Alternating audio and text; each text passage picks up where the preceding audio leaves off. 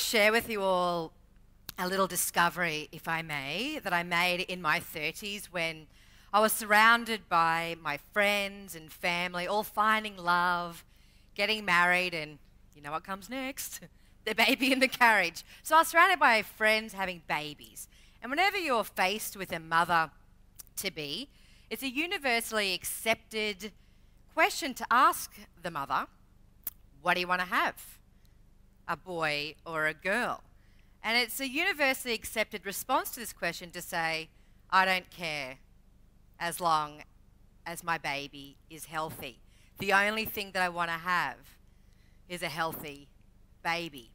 Now, I've been involved with plenty of these conversations myself over the years where I've said things like, Gosh, wouldn't it be your worst nightmare to have a child that was born unhealthy? And then the other person may say things like, Yeah, what would we do? Our life would be over if we had a child with a disability. We've all been there, we've been in these conversations. In fact, these words have floated out of my mouth many, many times and smacked me back in the head many times without really taking any effect.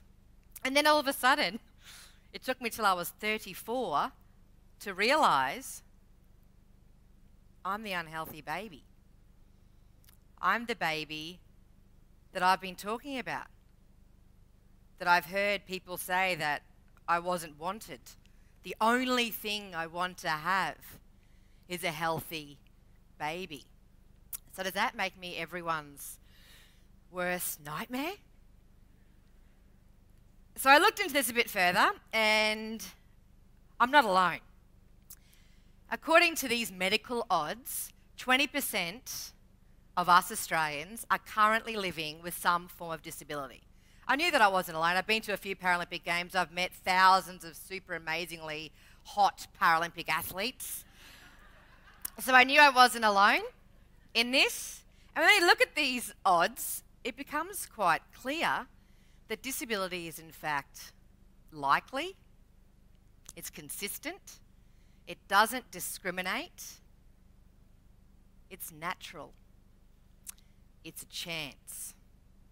So when we think about having this healthy baby, we're pretty much saying, give or take, that we want to have an able bodied child, or an AB, as I like to call you all. So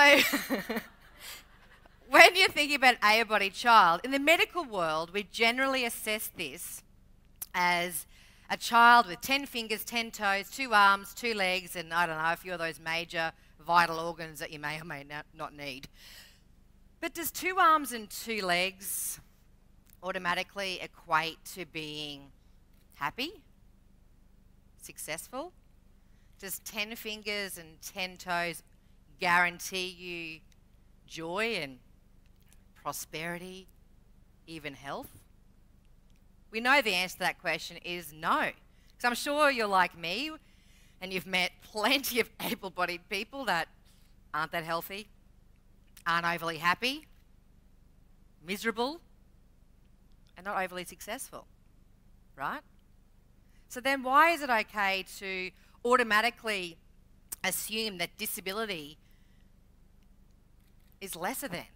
Why is it okay to associate disability as being an automatic reduction in the status of a person. Why is that okay? Why is it okay to even say that disability is your worst nightmare? If I said right now, put up your hand if you think you're normal. Come on, put it up. I'm guessing if there was anybody that was game enough to do it, you probably wouldn't be that popular at morning tea. But I think the most disabling thing that we do to ourselves is this quest for normalcy, this hunger for perfection. When I looked up the word disabled in the latest thesaurus entry, 2009, the antonyms, or the opposite to me, are words that I've been called on really good days. But they're words that I've been called chipper, fit, healthy. I drink lots of green juice. I'm definitely whole. Now, I'm like you. I too want to have that healthy child. Of course, it's innate, it's natural. I'm desperately trying to find out whether my muscle wasting disease will in fact be passed on to my future unborn children. I get it.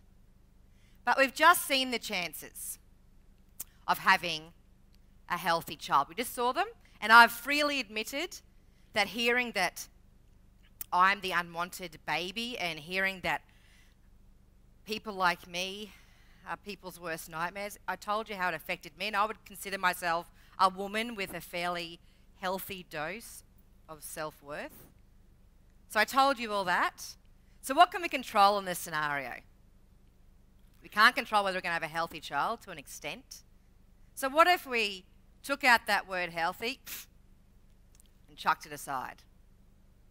And we brought in a word that describes something we can control. So, what can we control in any scenario in life? We can always control our words, our language, and our attitude and our emotions, right? And our words and our language, they're so powerful that they can shape how we view the world, how we view ourselves, and more importantly, in this situation, how other people view themselves. So we took out the word healthy and put in the word happy.